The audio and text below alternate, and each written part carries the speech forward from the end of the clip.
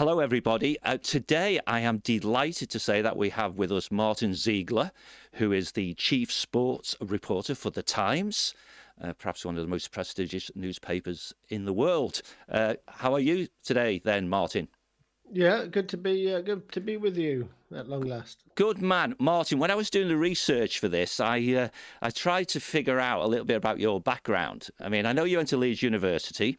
Um, I know it probably means that you you're about ten years younger than I am.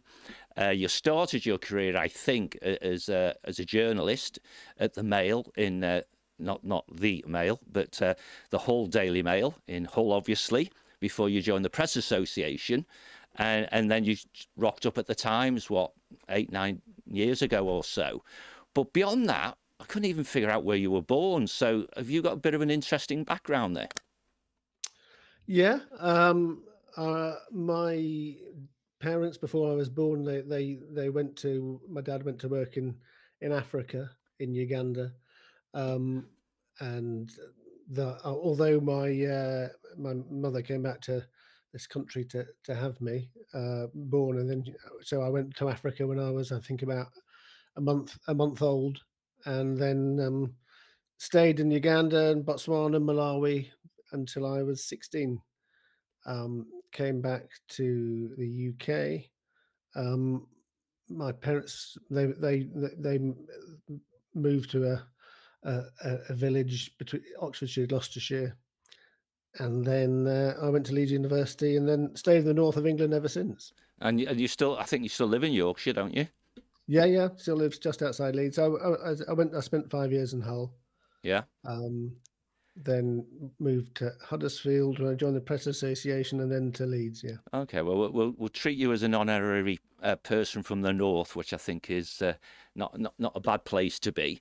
Um, one of the things about your career, Martyn, is, and particularly that what you do at the Times, is you are not the sort of reporter who goes to a football game and and then reports upon, as we might say recently with Everton Football Club, you know, oh, Everton beat Ipswich 2 0 and this is what it was like.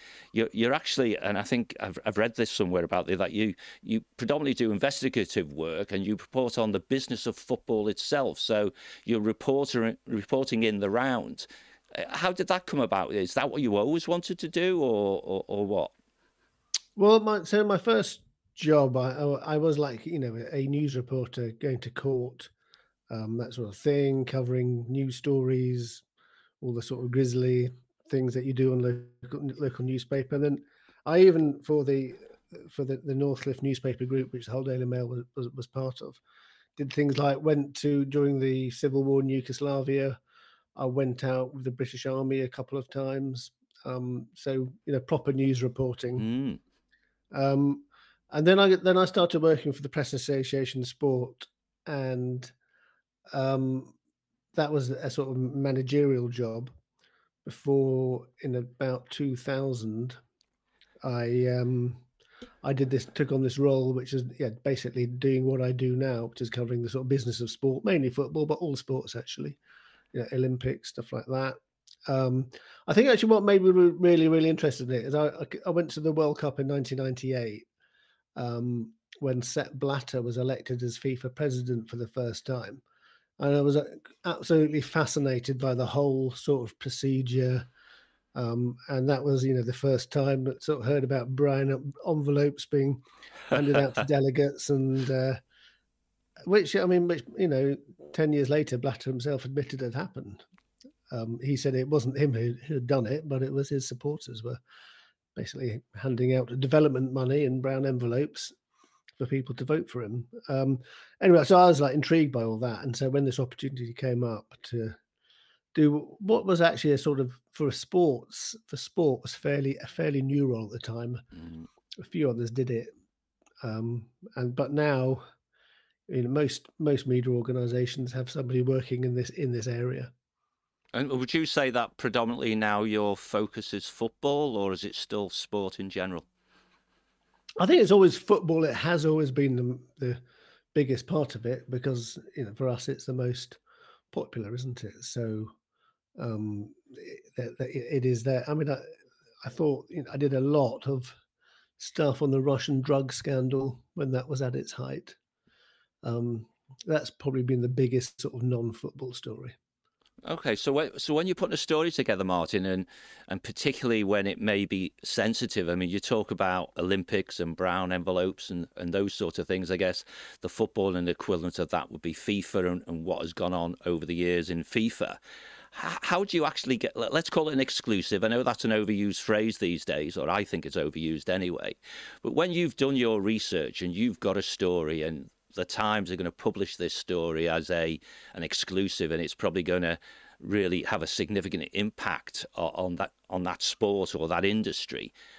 What's the journey from almost hearing a whisper about something, doing the research, and then getting it published uh, in in a way that obviously doesn't give palpitations to the lawyers of the company you're working for at the time? Yeah, I mean, uh, you know, everything is checked by the lawyers, so. Um so that that's one thing, and if, if they have any any issues, that they, will obviously flag those, and you'll have to uh, deal with those sorts of um, uh, issues, and and sometimes come to something that satisfies the lawyers. I mean, it's you know it happens that sometimes stories don't ever appear. I've got a couple of stories which never have never seen the light of day because although I was convinced of them, that the lawyers thought that, they, it, that the evidence wasn't wasn't there. Um, so, um, yeah, so the best stories you get are when you get hold of a document because the, you know you've got it there in black and white. It's not sort of hearsay. It's not what someone's telling you. It, it, it's there in black and white. So, um, yeah, I think when the Super League was launched, um, about three months before that, I got a sort of blueprint of the Super League, which was uh, you know, really, really, that was a really good story. Um, and then you know, that was easy to write.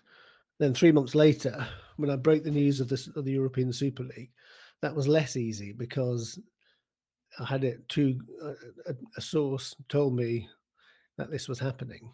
I then had to get it sort of confirmed by somebody else because I hadn't got anything in writing. And then so I, I actually did manage to get a, a very good source to to confirm the fact that well initially I was told that five of the five of the of the so-called big six had signed up to it and that Manchester City was still holding out and then uh, so I published that online and then uh, that was checked by the lawyers and it was a, it was a, a difficult one because none of the clubs would respond mm. to say that mm. was happening um, but the, you know when once the you know, the lawyers were satisfied by the how, how by the sources, and we, we, were able to run it. And then uh, I think about 20 minutes later, it was confirmed Manchester City had, had also joined the, the, European Super League. So I was, was going to say, yeah, I was going to say, how late to the party did you think City came, and and and what what's your overview, overall view about it at the time, that being the European Super League, and, and what do you think about it now?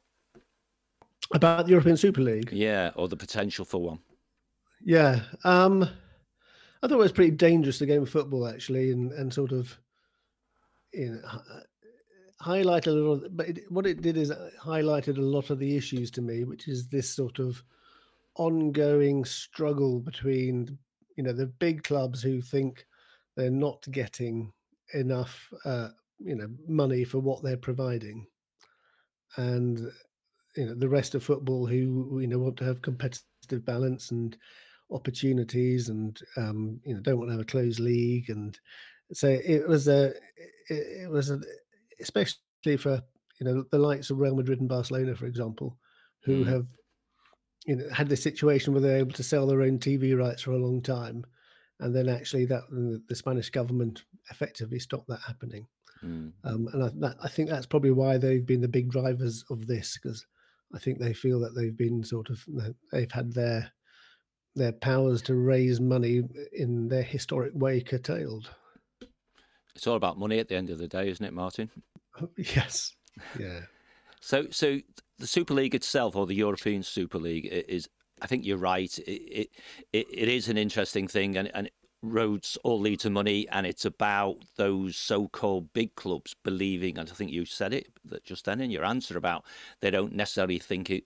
I'll put words into your mouth if you don't mind.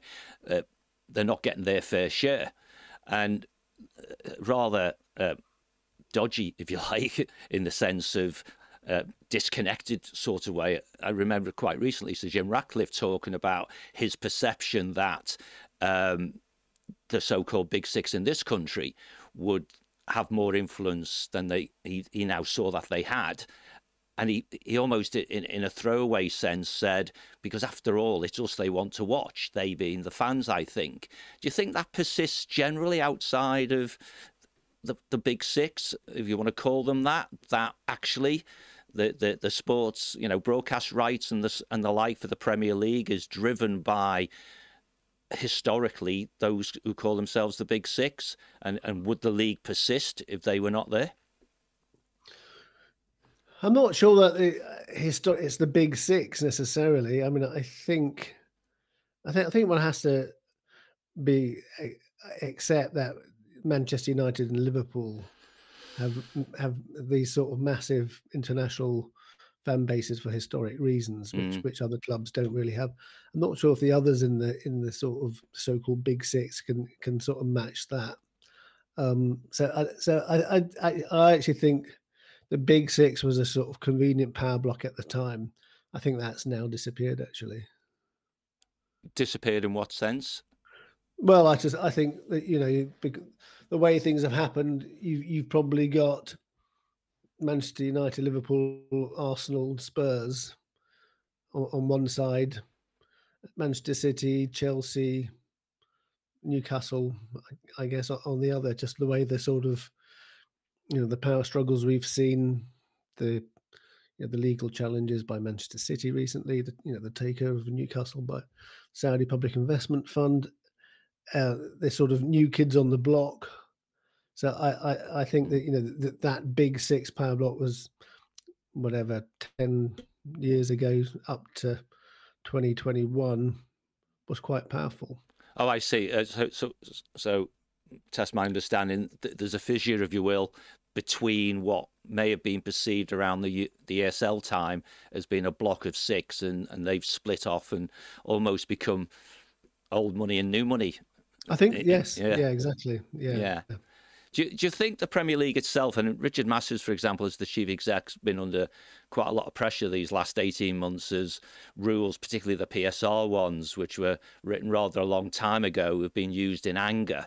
And I, am just interested as, as an impartial observer what you thought or, or what your opinions are about what's happened in the last 18 months in and around that, and particularly some of the punishments or not that Everton, Nottingham Forest, and Leicester City have or have not endured.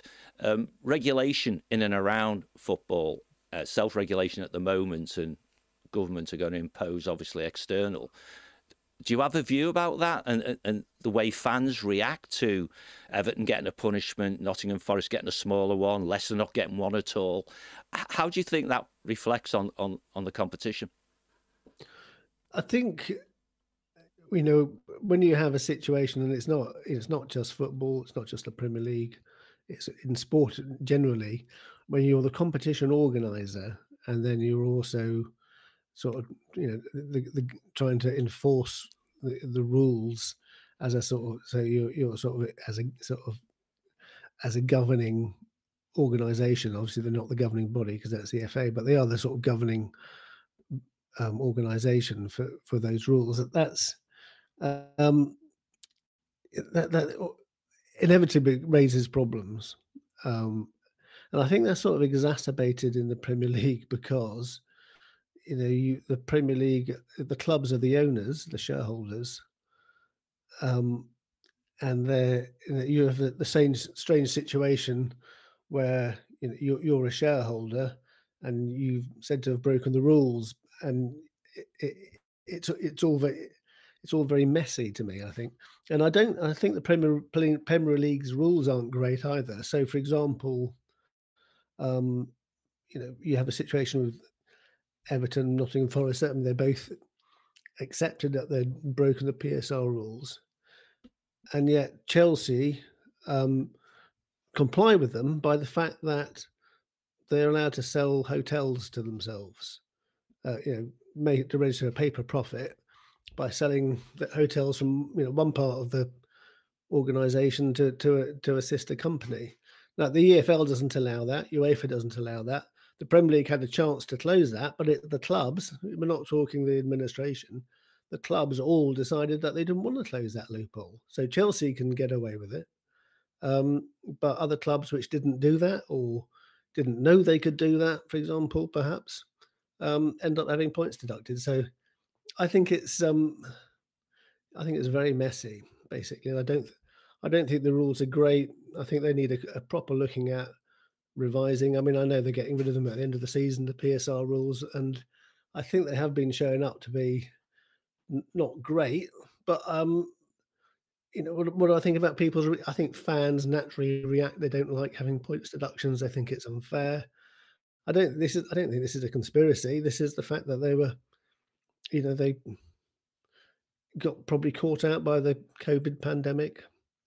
Things went uh, too far probably gambled a bit on success, didn't pay off, and um, ended up in that situation. So it's not. I don't think there's a sort of conspiracy about this, but I, I also don't think that the rules are particularly great. Mm, I mean, you, you open up a potential for a can of worms there because you refer to the shareholders, which is obviously uh, the 20 clubs themselves, which every year changes. Um, you also talk about the administration, and I, and I guess you you, are really referring to Alison Brittain and uh, and and Richard Masters and, and the non-exec board members of the Premier League. Do you think the administration of the Premier League have dealt with these challenges particularly well, or or not? Well, I don't know. I think for years, probably, uh, you know, the, the Premier League's administration, certainly when Richard Scudamore was there, would sort of bent over backwards not to do anything um, to, to the clubs because it, it's uncomfortable, isn't it? You know, mm. these the clubs employ that they employ these people at the end of the day, and yet so you're you're basically taking on your employer in a way. And you know, I don't think anyone would feel comfortable. I certainly wouldn't feel comfortable taking on my employer. Um, so, but that's what the situation is.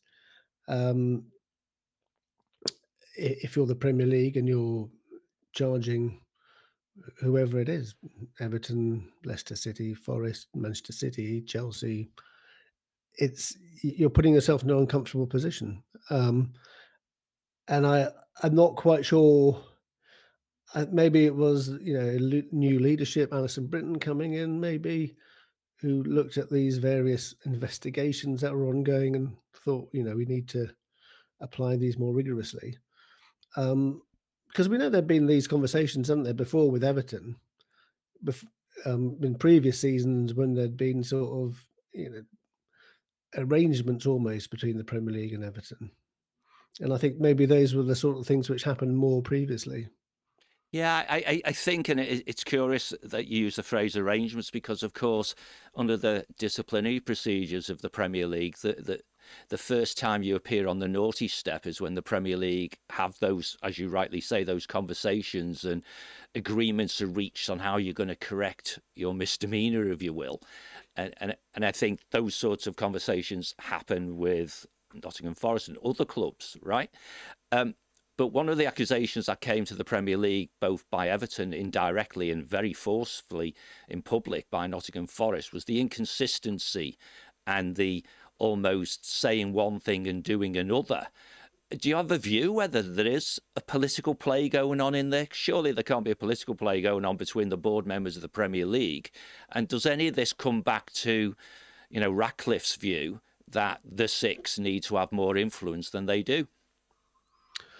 Oh, I don't. I don't think that particularly. I mean, I, I, I do wonder if, if, if the Premier League were saw that the you know government were bringing in this independent regulator, mm. and were very worried about how far that regulator would go and whether whether it would affect their running of English football's top flight, and wanted to be seen to be imposing their rules properly. Um, so I, I, I think that's more likely. I don't than the sort of you know the big six saying you know, we, we, we need to uh, pushing them to take action on the PSR rules. I, I certainly haven't seen uh, heard any evidence or um, you know any clubs suggesting that the Premier League needed to take action over PSR specifically.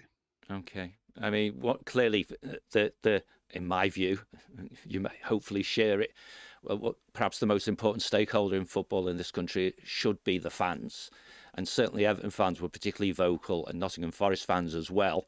And we've had clubs like Aston Villa's fans join in the fray because they feel that they've been constrained by some of the regulations and, and, and so on.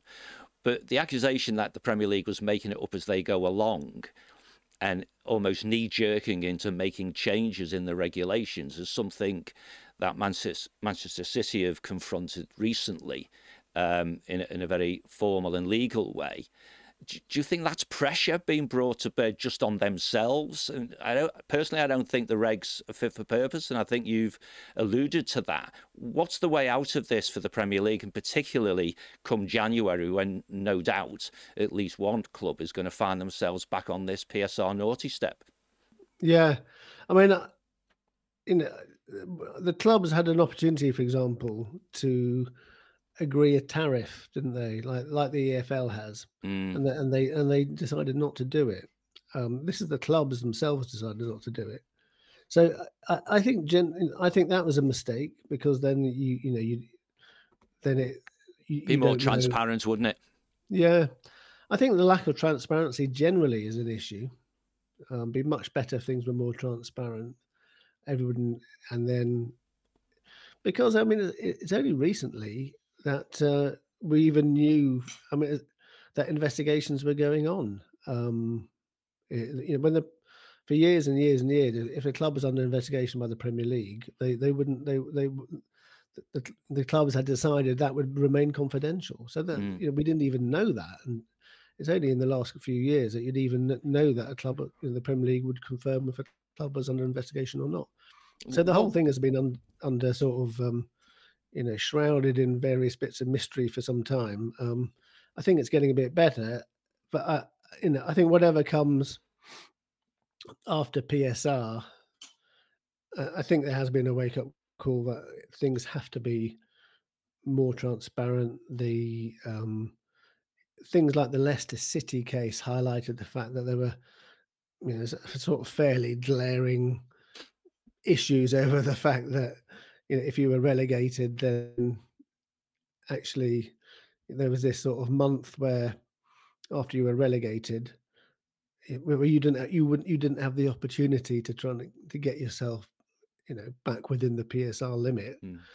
Um, and so therefore that's why they won their case to say that they you know they hadn't breached the PSR limit because it wasn't fair. You know, once they were out of the out of the sort of Premier League's control, then it was you know it was no longer applicable. And that could have been you know that could have been covered easily by the law the rules and they could have said you know laid it out in black and white so that there wasn't any sort of gray areas. So absolutely right. And to me that was a glaring error by the administration of the premier league because it was they who appeared to have been um, keen for the you know the the if you like the the share to transfer from the relegated team Leicester to the promoted team, which I think was Luton, presumably just so they could have their annual general meeting and look forward to the next season. And if that event had taken place a month or so later, then Leicester would have been banged to rights. So it, it, it, seems the Premier League itself doesn't understand its own rules. And, and so it's a bit rich to expect the clubs themselves to understand them. And I think we will move to the squad ratio, or that's the intention, isn't it? Approach, which UEFA have already implemented. And that is hugely transparent in where it documents exactly what the punishment is for breach. Now, those punishments within UEFA are financial. Do you expect that to be the case with the Premier League as well? If they do introduce transparency, that they will remove this sporting punishment for an alleged sporting crime and just go the way of money? No, I don't think so. I, am pretty sure that they are going to have ultimately have sporting sanctions. Um, I would be I'd be very surprised if they didn't have that. Um, the, the indications I got when they were first setting up the the, the squad cost ratio, mm. which all, I mean, I think UEFA's isn't just financial. Uh, um, no, it, it, ultimately becomes um, ultimately other, does, other yeah. things. But it, yeah, yeah. yeah, but it, it's a it's a sort of as you say, it's a transparent sliding scale. Mm. Um, and I think that's probably what will be the same as, as the with the Premier League. Yeah. So we use this next bit as a bridge between the past in this space and, and the future. Um, what was your view of when you heard how many tens of millions of pounds the Premier League had spent suing its own membership for these rules that we've just spent 10 minutes talking about? I mean, it just seemed crazy that forensic accountants and lawyers stroke barristers are making huge sums of money which could be better spent elsewhere yeah so i mean the the, the everton case didn't they for the first one it the it it showed up i think it was five million pounds just on the first case alone with the premier league's costs and mm. some pretty high um, money being paid to law firms higher than than Everton were paying considerably, and I think mm. I think Everton's legal representatives I think described them as as eye watering. Yes, that's um, right. Yeah, yeah. So it, uh, I haven't sort of thought about this in, in detail as to whether I think it's right that the Premier League should be spending this money or not. I suppose you could argue that you know if, if the Premier League needs to prove its position. Um, and if it, you know, if it if it's once again to be a cheapskate about it, then the other clubs could say, well, "Hang on a minute, you've you've just you've gone to this like thruppenny bit firm down the road. You know, you need to have proper people." Blah blah blah. So no, they, I get probably, that, yeah. they probably can't win on that. Um, I, I, I, yeah. I do think it. I do think that the, the amount of money the Premier League has had to spend on lawyers over the PSR case, um, the Manchester City cases, the Chelsea case. Um, it's just incredible. I think they budgeted last season for it to be eight million, and they spent forty-eight million. Um, I mean, you know, people say that oh, that's only the cost of a you know a, a sort of semi-good striker, but it's think it's a lot of money. Yeah, it was nearly fifty million pounds that was not spent on grassroots football from from where I sit. Um, I also um, take a view. We, we have a business show on, on our channel which goes out every week or so, and we're often using the phrases that what we see are symptoms. So I think the huge amounts of money spent on legal fees, I think, is a symptom, and you alluded to it earlier, that the, the regulations or the laws, we want to call them that, of the Premier League probably were not uh, drafted when they were drafted to anticipate what they're going through now.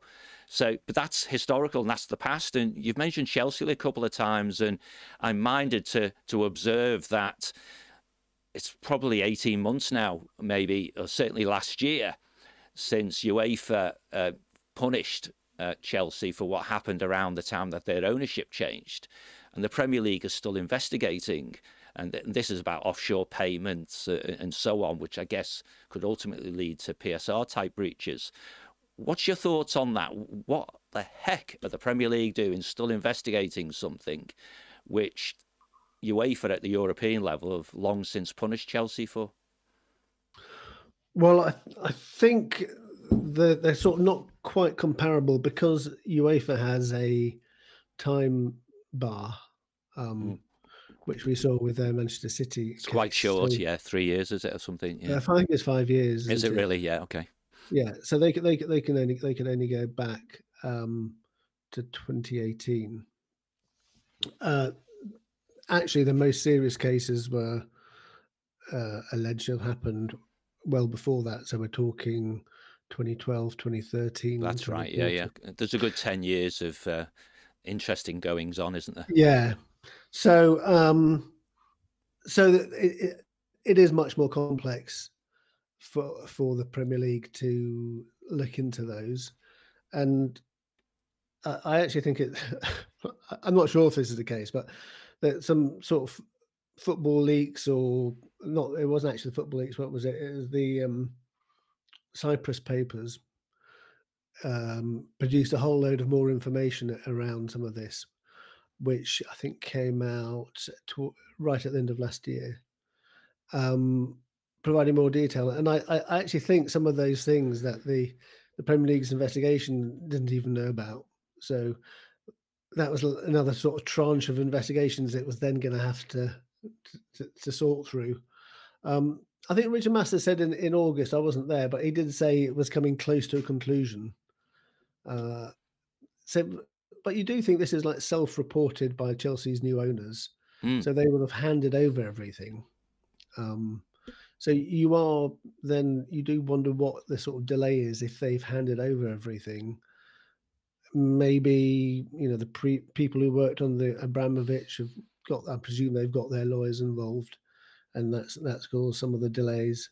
Um, but you know, we're talking for people who haven't followed it closely. That you know, for example, suggestions that um, money around transfers was paid to um, offshore accounts, Mm. middlemen, people. For example, the transfer of Samuel Eto'o and Willian from a, a Russian club to Chelsea. That um, people connected with a Russian club were, were, were paid money sort of on the side to sort of sweeten the deal, and that money never appeared in sort of Chelsea's accounts. Mm. Um, if that's the case, obviously that is a sort of fairly serious breach. Um, you then go into the whole thorny problem of what do you do to a club whose owners did this and then sold it and they're no longer there. Um, it's still the club who broke the rules, isn't it? And that's yeah, I'm sure that is how the uh, the, the statutes, um, the Premier League's rules will say that. Yeah, I mean, I Um, wrote an article. Sorry, big pardon. Go ahead. Yeah. Sorry. No, I'm going to say if you're a Chelsea supporter, you might think this is, um, you know, the, oh, you know, the, why should we have whatever it might be, points deductions, or you know, which it could easily be. Which, I mean, it, Mm. if if ever, if Everton can be docked that many points for overspending, what what do you do when someone's doing secret payments on the side? Well, absolutely. Uh, doing secret payments on the side, not to break the rules that both Everton and Nottingham Forest have been punished for, which was post the ESL. And there was some pretty high profile journalists saying, don't punish the fans. There's a whole host of contradictions there. Now, I wrote a Substack article on this perhaps 12, 18 months ago, whatever it was now. And, and Chelsea's new owners set aside, I believe, on or around 100 million pounds to deal with what they think may be the consequences of these failures to failure to comply with the regulations. And all we can get out of the chief exec of the Premier League is it's drawing to a close. Um, I just think it's unsatisfactory to be honest. And Man City of course are in the throes of this now um, in the sense of being prosecuted we use those words by the Premier League have you got a feel for when we'll find the outcome of that I mean, I think uh, well, we know when it started, so and that it, I think it was scheduled for ten weeks. The the, the so-called 115 alleged rule breaches. Um, so by you would expect that they would be done around you know, get some sort of outcome beginning of February. Uh, I know there, there's I think the Premier League and the other clubs are pretty keen to have it resolved before the end of the season, including an appeal, which you would think would would make sense. Um, because I actually think you know that's another of the issues around the whole PSR thing, which they they, they did change the rules after after Everton, didn't they? Mm. After the first case, that um, you know you had this situation where Everton uh, basically having two PSR breaches dealt with within the same season. Mm. Hence the accusation of making up it up as you go along, and it seems only natural if, to- if I'm talking about that, is to say clearly um, reactive changes in the rules were applied, um, and recently with Manchester City's case has been brought into question around Newcastle, wasn't it? And and of course Newcastle is now back in the throes of publicity around state ownership there's too many of these coming along all at once, isn't there? Really, for the Premier League to be able to deal with. certainly lots of challenges. I mean, I do think it's um, it, to to me, it's one of the things that come with with state connected ownership. Um, when you when you when you have these sort of very very you know incredibly rich outside forces um and they, they you know they they don't like taking no for an answer and want to you know, Newcastle, I'm sure, want to do what Manchester City have done, um, and you know, say that everybody getting in their way um, is is a problem, then that is definitely going to create issues for the Premier League and the other clubs. What What's your view, Martyn? If because um, I, I do believe we've been told in the past, and certainly Amanda Staveley is in and around this that Newcastle was not going to be owned by the Saudi Arabian government, and therefore there was no issue there. Um, maybe there was some political involvement from the UK government at the time. What happens if there's hard evidence that actually, as many people may suspect, Newcastle are indeed owned by the Saudi Arabian government and heavily influenced by it? What happens then? Well, I mean, it's quite it's quite difficult, isn't it, to mm. to prove? I mean, you know, the Saudi the sovereign wealth fund. It, it's almost like saying if, if Britain had a sovereign wealth fund, you would think that was part of the British nation, wouldn't you? I mean, I would. Um, and uh, you know, so it is to me, it is part of the, it is part of the the government, the you know, the Saudi Public Investment Fund, the you know the is the, the, the board of the Saudi Public Investment Fund is basically made up of, of the Saudi government. Hmm. Um, you know, wh- whether those government people have a direct influence over the running of Newcastle United, I mean, the club would say that they don't, and it's you know, it, and there are these sort of these walls put up to ensure that's not the case. Um, but I mean, I think it's it's it's quite difficult to maintain that division, isn't it? I, I, yeah, well, having lived and worked in the Middle East and particularly Saudi Arabia, um, albeit quite a long time ago now, I can rest assured that if one of the five, six, seven, eight, nine thousand um, members of the royal family want something to happen, it generally happens, you know, and, and, and therefore it's utterly naive of the Premier League to say we've been assured that there'll be no government involvement, right? Um, and, and, therefore that just becomes an issue to deal with in the future, unfortunately for them. I, I just think there's an accumulation here um, where, again, FIFA try to hold strong that there should be no political stroke government involvement in, in, in sport and in their sport, football in particular, where it appears that in English football it's happening all the time. Am I being fair there with that? I think it's um, so I mean, FIFA's saying that there's there should be there's no government involvement in the running of the of the the national game. So they, they would say like the football association. Mm. Um, uh, so that's why there's been sort of some question marks, I think, from UEFA over the this this new regulator. Mm.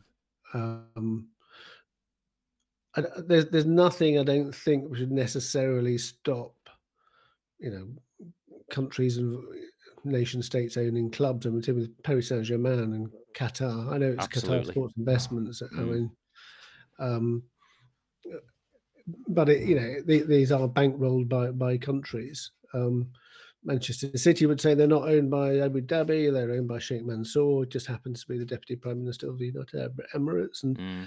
so because you know what I've always wondered, you know, should there be a rule saying nation states shouldn't own football clubs.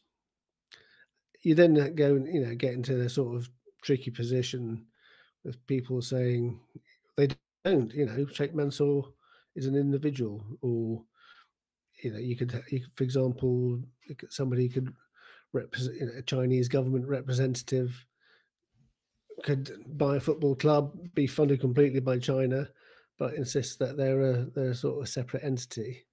Um, and it's actually very difficult to prove otherwise. Mm.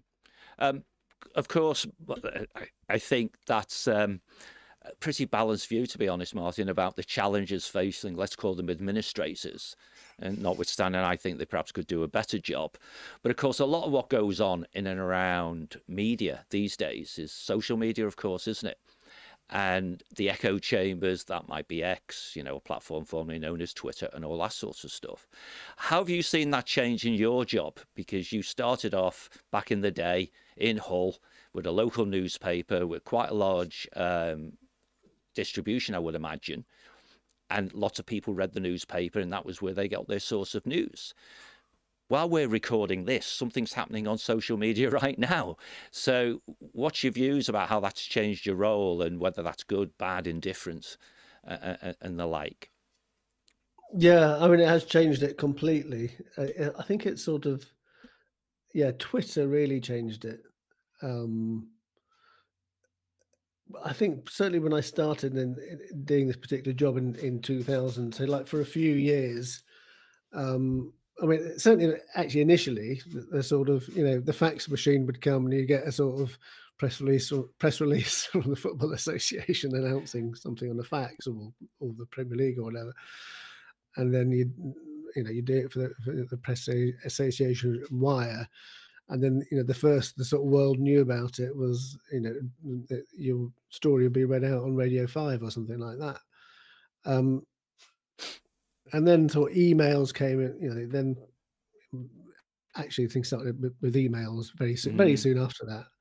Um, and that, that took over from faxes. I don't, there, certainly faxes was certainly for a couple of years, the, the fax machine was uh, still part of my office and uh, I was pretty pleased to get rid of it. Just to get back emails. You but do realize Twitter, you do realise that the demographic of this show might mean there's a whole host of people who don't know what a fax machine is. yeah.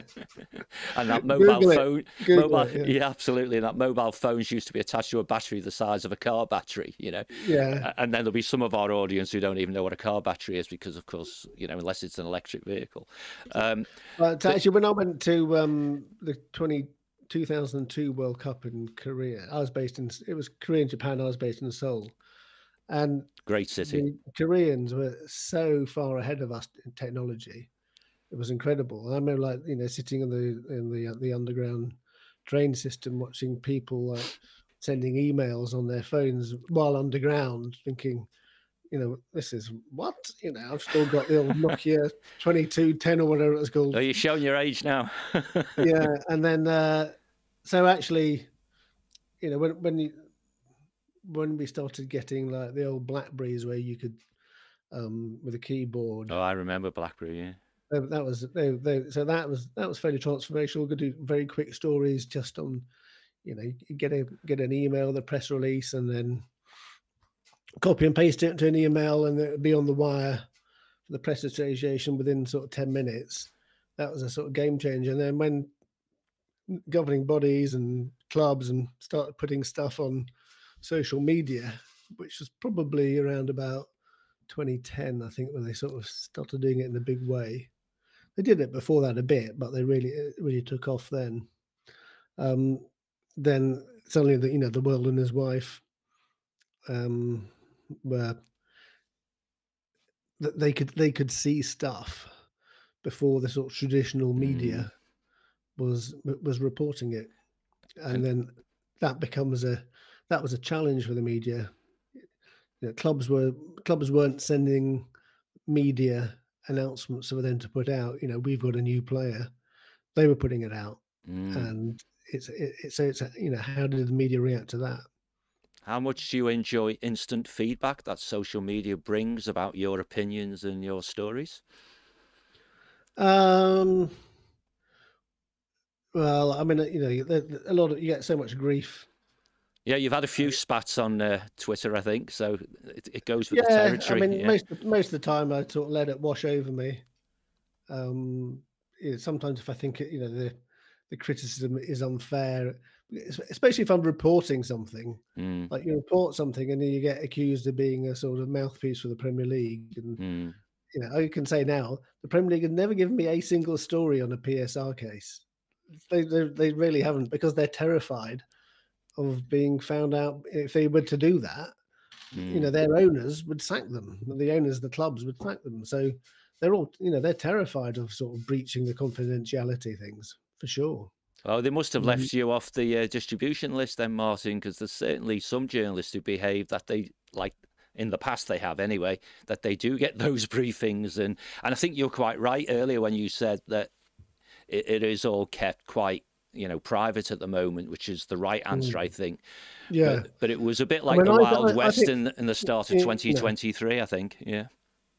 Yeah, I mean, I I, I did a story at the start of this year saying that um, Everton and Nottingham Forest um, were in in danger of. Uh, I mean, I think Everton. Uh, a second. It would be the second uh, PSL breach for Everton sure. and Nottingham Forest being in breach. Um, but that that wasn't at all anything to do with either the clubs or the Premier League. Um, that was a combination of speaking to a couple of lawyers and just doing some simple maths. Mm, absolutely. Um, yeah, and Kieran Maguire, um, I checked it out with him, and he, he'd done the same sort of maths. So, and it, you know, it, it just you know turned out that was the case. Um, so that there wasn't any sort of you know people sending messages via carrier pigeon or whatever. no, no. I, I mean, that, that almost spins right back to the beginning of what we spoke about. That's doing a little bit of investigation, a little bit of research, offering an opinion, which turned out to be absolutely right. So, as we draw to a close, uh, if you would humour me, I would like to ask you about my team, which is Everton, and the saga that is the change of ownership and so I'd like a, a little précis of uh, about uh, as an observer how you've seen that and what, if any, view you have about the potential owners, um, hopefully relatively soon, of the Friedkin Group. Yeah, I mean, I think it's sort of been um, touched by desperation. Many, if you, I mean, if you look at some of the um, the people Everton have, sort of got into bed with, or you know, done these period of exclusivity deals, um, all that Moshiri has, has done. Mm. Um, I, I, just can't believe some of them that were, got through. Like um, the Kaminskis, for example, really, really easy due diligence, which probably took me a day to find out the sort of list of very dubious um, court rulings and legal challenges in the USA and and um, actually a sort of no evidence at all of, of funds behind them. Mm. Um, yeah, they you know they were they were seen as being sort of you know genuine purchasers. Um, and I mean that was a classic one. So when, when I did the story, like pointing out all these issues with them, I had loads of grief from Everton fans who thought I was being sort of you know you know hated the club or doing down the club. I, I, I felt I was protecting the club. Um, and it turned out they went to you know went tried said they were going to buy a club in Belgium, and uh, complete and the, the deal completely collapsed and they've been completely discredited the Kaminskis. Mm. So that was that, and then the whole seven seven seven issue. I mean, you know, a lot of people, not not just me, other people than me, did much more work on the the whole seven seven seven um, in a paper house, basically. Mm. Josimar did some great work on that. They did some really good work on that, yeah. Mm. Um, and it, so seven seven seven put they put they did you know they they they put their money where their mouth was.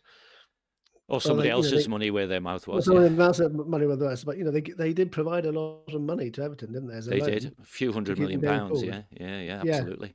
So you can say that's maybe that's why Moshiri was convinced that you know they did have this, but mm. it it didn't it didn't take much to realize that you know it what this was built on was pretty unsteady ground, and mm. Everton dodged a bullet there, definitely, definitely. Um, so, and again, you know, I, actually, I think most fans would realise what the situation was was with seven seven seven pretty real. We did, pretty, we did, quickly. we did. Yeah. So, what does your research tell you about the Friedkin Group? Well, I I'm hoping that from what I know that they've got a lot of money.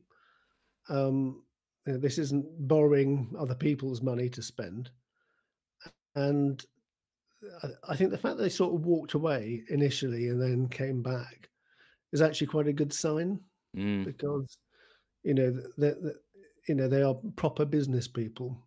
I, from what I know, what I can gather, what I've researched, um, and they're not afraid. You know, they're not afraid to make tough decisions for what they think is the best thing. I mean, look at Mourinho and Roma. You know, Absolutely, just, uh, yeah, yeah. Um, so I think for Everton fans, this this could be the the, the people that they've been looking for for for many years to to change their fortunes, and it makes good sense for them. The Friedkin Group. I mean, they got you know brand new stadium. Mm.